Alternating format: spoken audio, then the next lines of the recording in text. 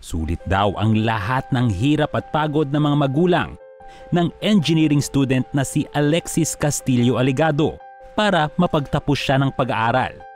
Dahil hindi lang siya nagtapos bilang cum laude. Siya pa ang 2023 Civil Engineering Licensure Examination Top Notcher. Ang gasolina o inspirasyon para sa kanyang pagtatagumpay. Tampok ngayon sa Share Ko Lang.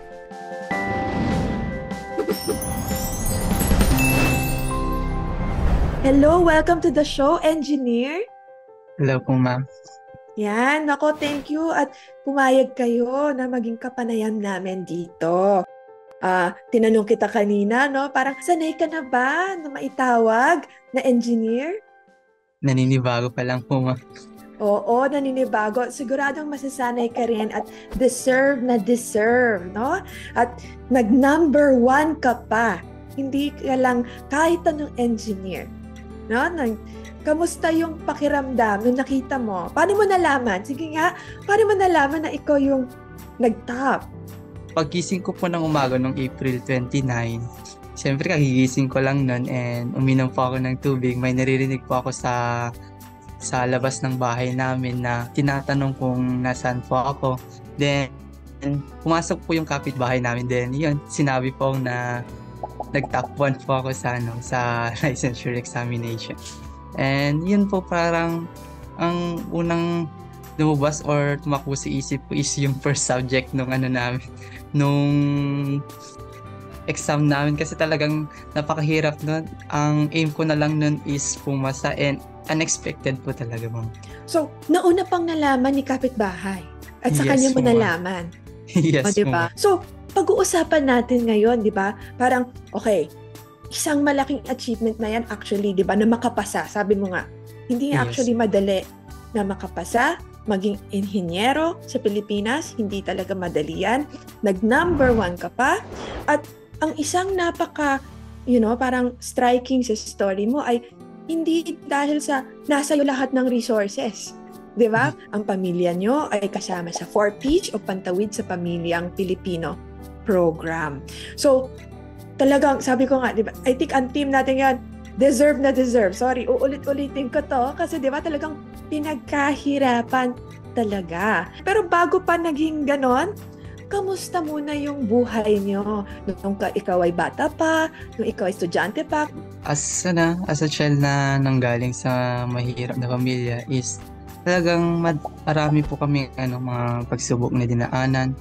Um, pero nung bata pa naman ako is hindi naman po ako aware, aware sa mga mga reality, gano'n. Na, ang nasa isip ko pa lang nun is ano, um, mga paglaro, paglalaro, gano'n. Pero pagdating ko ng grade 4 noon sa elementary, doon na ako nag-start na maging honor student. Kaya ano, parang iba na yung attention na binibigay ko sa pag-aaral. Um, parang kumpara com, compare noon na ano sa mga lo, grade 3 hanggang kinder pa ako na talagang laro pa lang nasa isip ko. And pagdating ko na talaga sa grade 4 doon ako ano malaking attention na at malaking focus na yung binibigay ko sa pag-aaral. Kasi alam ko na yung sinusustenso ng pamilya ko sa pag-aaral ko is galing sa pagod nila, sa pawis nila, ganun. And pagdating ng high school yun, tuloy-tuloy na po akong nag, naging honor student um, dun, dun na na-build yung habit ko na hindi na gaanong lumalabas sa bahay, ganun po. Then, parang hindi hindi ako sanay noon na makisocialize po. Um, ang tingin nga sa akin noon is parang studios na ano, na estudyante kasi hindi kasi ako marunong na, hindi ako kasi sanay na lumabas sa bahay. So, tingin nila parang nag-aaral ako palagi. Pero, normal student lang din naman ako noon na, na para na parang ano na nagko-complain rin kapag maraming gawain sa school. Pero despite naman sa behavior ko towards yung sa study ko is ayun, pinagbubutihan ko naman kasi yun lang naman yung way ko on how uh, on how I show na I value yung sacrifices ng parents ko. Yan po. Grade 4, sabi mo. Doon mo na-realize, uy, kaya ko pala. No? Nakaka-honors pala ako at sineryoso mo na. So sabi mo, normal student lang naman, studious, na-enjoy mo rin yung pag-aaral or talagang malaking parte yon dun sa, ay gusto ko makatulong sa pamilya? Hindi naman po kasi ano, madali mag-aral po, ma'am. Um, lalong-lalo na sa mga subject na parang hindi mo gusto, parang yung mga English, science, ganun po, ma'am. Pero, yun yung uh, naging mindset ko talaga is kailangan ko naman yun sa mga future ko sa pag sa uh, pag ano pagpasok ko sa college kasi yun yung mga basic knowledge na ano ko or ba, basic na kailangang dalhin pag tugtong po sa college. And yun po, na-enjoy ko naman siya. And ginawa ko na yun para po sa ano, sa pangarap ko. Okay. So, meron ka mga kapatid, may mga magulang at sa, you know, siguro meron din kayong mas malaking pamilya, mga kapitbahay, ganyan. Ano yung mga tulong at suporta na naranasan mo habang ikaw ay nag-aaral? Siyempre, yung pinaka-main na supporter ko is yung ano ko, yung parents ko. Kasi sila yung ano eh, parang lahat na ng ano kailangan ko, lahat ng yo lahat ng kailangan sila yung nagtrabaho sila yung nagpakihirap para ibigay sa akin um financial man emotional ano man or spiritual man po. At meron din po namang mga ano kahit hindi namin kaano-ano is ano um, tumulong naman po sila parang yung mga pinagtatrabuhan or yung mga amo ng nanay ko kahit na hindi namin po sila ka ano kadugo is they lend po some support kahit ilan po naman uh, parang kahit hindi mo hinihingi is um, di kusang ano tumutulong kasi alam po nila na parang mahirap po yung ano namin yung life namin po. Mm-mm. And that's what I'm thankful po sa kanila dahil engineer na po ako dahil po sa, sa kanila.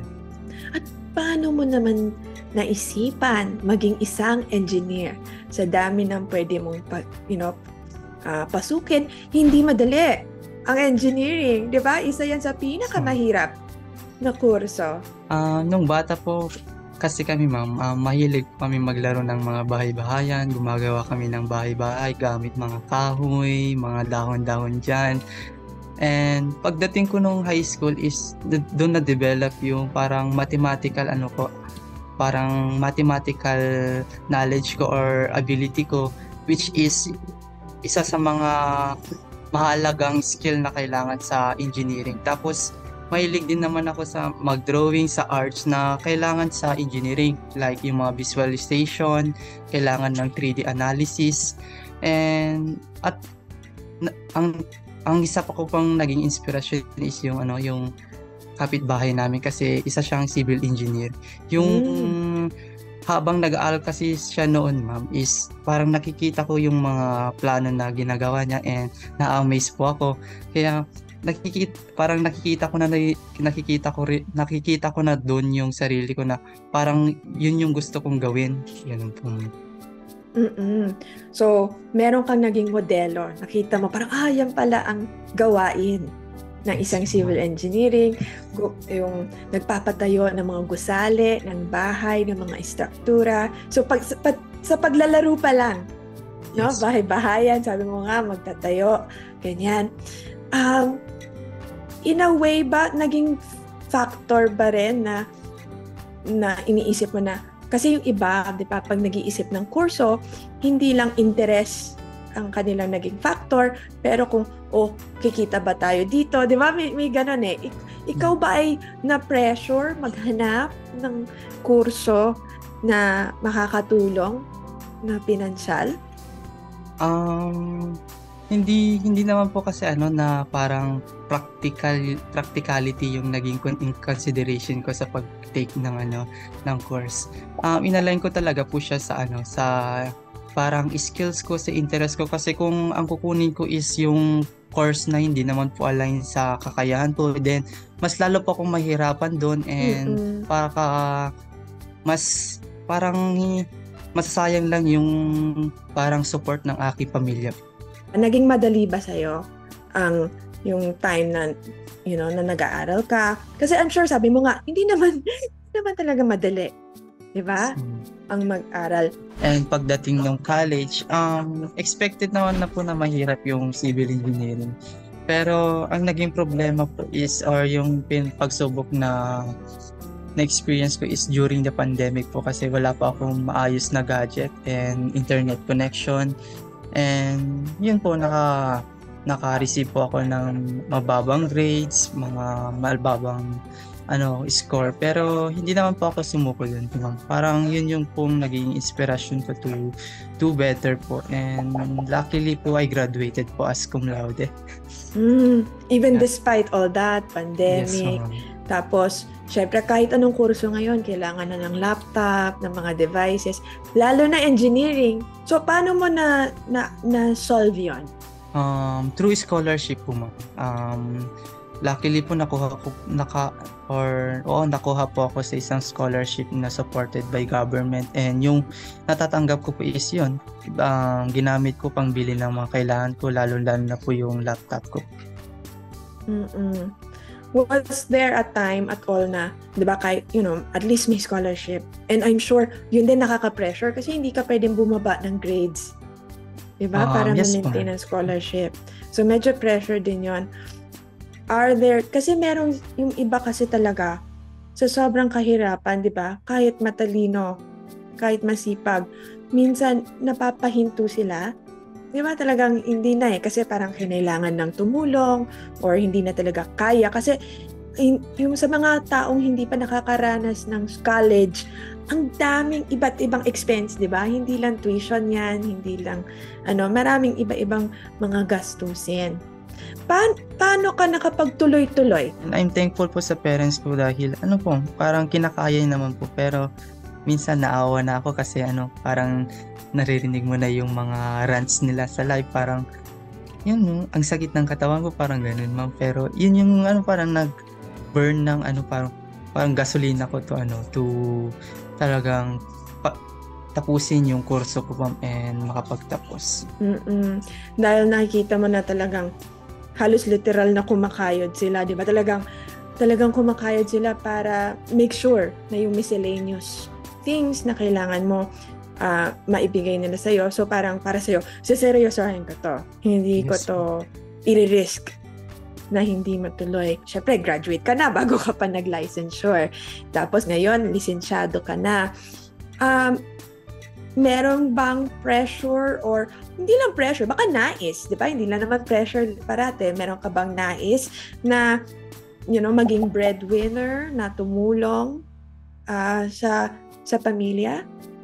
Um, syempre po, mayroon ng pressure kasi um, yung titulo po bilang ano, parang top 1 is parang inaakala nila na mas aangat po yung buhay namin or mas mas parang better po yung career ko compared po sa other. Pero ang tingin ko po is wala naman pong bearing yung pagiging top 1 sa, ano, sa field namin. Lahat naman po kami is pantay-pantay. Pero um, ngayong graduate na po ako is yun, gagawin ko na po yung yung expected na expected sa akin na ako na ako na rin yung isa sa katulong to sustain po yung mga need namin sa bahay. Kasi um, tapos na po yung yung parang days na yung mother ko or your pad, yung father ko yung nagsusustain sa akin and ako naman po yung ano parang yeah magsusustain sa pamilya namin. So, tinanong namin ang mga kapuso uh, kung anong yung mga karanasan nila bilang breadwinner. So, you know, Alexis, parang it sounds like magsisimula ka pa lang, di ba? Na maging breadwinner, tama ba? Parang kung mag, the moment magkaroon, magko-contribute ka yes, uh, being some being someone that's earning. So, ito yung mga karanasan at mga thoughts na ating mga kapusong breadwinner. Yung isa, isang kapuso natin, ang sabi niya, mas priority mo yung needs ng family mo kaysa para sa sarili mo. Okay na walang matira sa'yo, basta matulungan mo na sila. Bilang na ikaw ay magsisimula, actually ito, magandang opportunity to Alexis, di ba? Kasi may chance ka mag-decide kung paano ka tutulong sa pamilya at paano mo gagawin yon uh, 'di ba? Parang lahat ba ibibigay mo sa kanila? Lahat, 'di ba? Lahat ng ipon. Oo naman, uh, as uh, na, nakapagtapos ng college na ang main supporter is yung pamilya ko is oo um, maybe large part of my ano parang sweldo maybe mapupunta sa kanila. Pero I would ano alat naman po for future plans. Kasi kung gusto ko naman po is ano makapagpatayo ng sariling bahay namin. Para naman po sa amin yon and and I may alat po din po sa savings ko para sa future plan ko. Sinabi ko po kasi kanina na I may build po my own construction firm po. Ganun po. Mm-mm. So, isa sa mga pangarap mo makapagtayo ng bahay yes, para sa pamilya mo? Ay, nako, iiyakan nanay mo pag nangyari yun, no? Kasi yun talaga yung katas. katas ng pag-aaruga. Oo. So, syempre, importante na makatulong sa pamilya. Um, at mukhang sure ka naman, 'di ba, na parang pwede namang gawing pareho, 'di ba? Hindi naman kailangan na lahat to, to the point na lahat ng pangarap mo para sa sarili mo, yung graduate studies, yung construction firm, and wala nang natira para doon.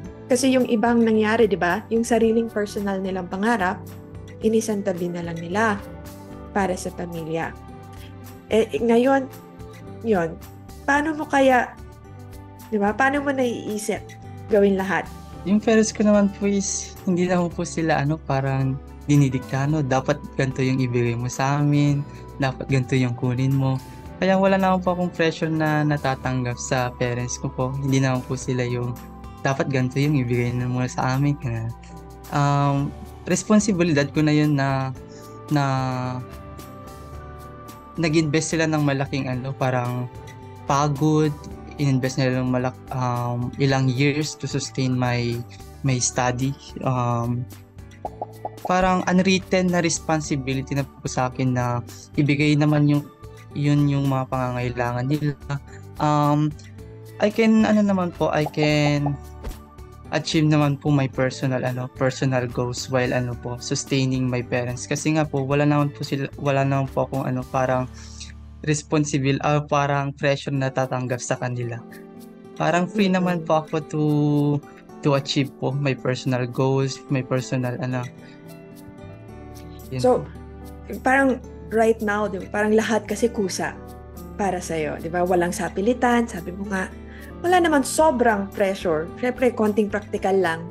'Di ba? Sabi nga nila, kung sana hindi ka lalayo, maganda. Pero other than that, 'di ba? Parang kung meron ka mang gustong ibigay sa kanila, yun ay dahil kusa mo. At isa pa nating kapuso, sabi, siya ay isang working student na breadwinner pa. Hirap po sobra. Hindi ko na magawa mga gusto kong gawin para sa sarili ko. Mer meron ka bang mga experience similar to this? Parang ikaw ba ay nagtrabaho din or tumulong, no? Tumulong sa pamilya habang ikaw ay nag-aaral? Mga ano po lang, summer part-time nung high school ako ma'am, sa mga government, gano'n. Pero, mm-hmm. the way I show naman po na parang, nung high school po ako kasi ma'am, hindi po ako kasi mahilig na ano, lumabas, mag-party-party, yung mga ano, food trip na ganun ma'am. Hindi din ako ano, parang nagme-merienda sa high school tuwing, tuwing break time. Yung parang allowance ko po is iniipon ko po siya kasi alam ko na nanggaling po siya sa hirap and kapag meron pong babayaran noon sa school is hindi na po ako ano parang um, hihingi sa parents ko parang yung ipon ko na lang po yung pangbayad ko. Parang ganun po yung hmm. naging ano ko po way on how to help po na malesen po yung parang gastos po sa pamilya. Mm-mm. And yung sabi mo, hindi ka naman mahilig mag-party-party, mag-food trip partly dahil hindi mo rin mo talaga gusto. Hindi naman sa talagang pinigilan mo ang sarili mo. Dahil nga po hindi ako mahilig na lumabas ma'am. Ang tingin po kasi nila sa life ko is boring daw po ma'am. Pero yun po kasi parang um, kaila para daw pa sabi na on you are on or you are in this ano generation po ma'am is dapat po makisabay ka sa flow ganon pero ako po is kontra sa flow na yun na para labas parang barka-barkada. And ang parang nag-influence sa behavior ko na to is, yun nga, yung yung family namin, yung state of life namin, para yun yung nagpa-realize sa akin na ano, na hindi naman po kailangan na makisabay sa uso, ganun. Um, I need to consider po yung state ng life namin. Um, um, yun po, para makatulong sa kanila is ayaw ko pong ma iba yung direction ng life ko. Parang gusto ko pong nakafocus po siya sa pag-help sa family po namin. So ngayon, 'di ba, sabi nga natin, exciting part. 'Di ba, nandito ka sa part na okay, may kakayahan ka na, 'di ba? Technically, magkakaroon ka na ng kakayahan. Makatulong sa pamilya, makapagpatayo ng bahay. Yan ang napaka, 'di ba? Yan ang parang parang feeling ko marami sa atin may pangarap na gano'n. 'Di ba? Ano, na-imagine mo ba sarili mo? Imaginein mo na, na natayo mo yung bahay at pinapakita, ipapakita mo sa nanay mo at sa tatay mo yung bahay for the first time. Ano kayang mararamdaman mo? Siyempre, yung mother ko is talagang emotional siya, lalo nung lumabas ng ano ng result. Siya yung unang umiyak. So, pagdating ng panahon na yun na meron ng napatay na namin yung bahay namin, sigurado pong ano, iiyak po siya, ma'am. Um, kasi, we've been ano po, parang nagsisuffer po kami because of our house po noon po kasi talagang hindi pa konkreto yung bahay namin, yung bubong namin po hindi pa yero, yung sahig namin is ano, hindi pa semento, kahoy pa lang siya. Kaya kung tuwing bumabagyo is nangangamba kami kung liliparin yung ano namin. Kaya maybe um mapipil din nila yung ano parang sense of relief na kahit na bumabagyo, eh, makakatulog na po kami ng mahimbing, ganun po. Lahat na ng kailangan namin nandun na sa bahay. Hindi na, hindi na kailangan parang lilikas sa kapitbahay kapag babagyo, ganun. So, I bet nung nag-aaral ka kung paano gumawa ng bahay, tinitingnan mo na yung bahay nyo ngayon. Tinitingnan mo, ay, itong gusto kong gawin sa bubong na to. Yes, mo. Na-imagine mo ba nung bata ka, magkakaroon ka ng kakayahan na mag-build ng bahay mismo para sa iyong pamilya? Marami na pong bata na ano, parang as ano, parang mga young pa lang yung mind is talagang gusto ko ng mansion, gusto ko ng bahay, gusto yung mag swimming pool. Parang ganun din naman ako nun, ma'am. Pero as a civil engineer na po, ma'am. Uh, yun, parang mm-hmm. may kakayahan na po to parang build anything na I want ano yung design na gusto ko, ano, ano yung mga kwarto, ano yung mga spaces na kailangan kong ilagay, ganun. So what's next for Engineer Alexis? Parang anong balak mo in terms of career, trabaho? Siyempre, meron na po pong naka, natatanggap na offers. Pero meron naman na po akong mga consideration on what opportunities that I will be ano po considering. Um, it should align po sa ano or it should fit mo my future plan kasi I plan po na I would take masteral po in structural engineering.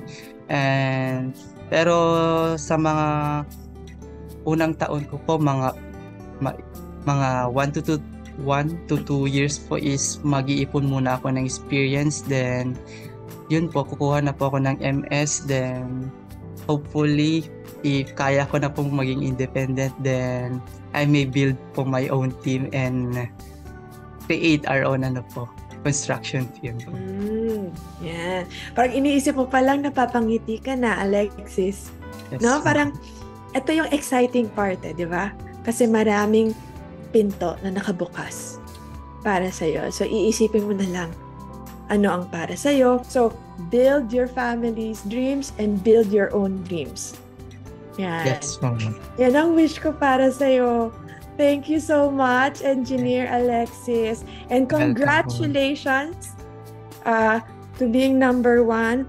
And I hope it opens many doors for you, no? Um, at wag masyadong ma-pressure. Tama ka, Engineer Welcome Alexis. po, ma'am. Kung may gusto kayong pag-usapan, mag-iwan lang ng comment below or email us at sharekolang at gmanews.tv.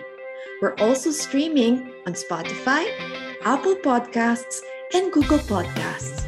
Thanks for tuning in.